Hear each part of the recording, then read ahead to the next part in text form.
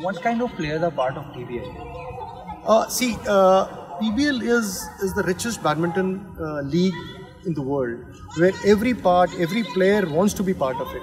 But of course, it is difficult for the few uh, players like the top players of the Chinese, or the Koreans, or the Japanese.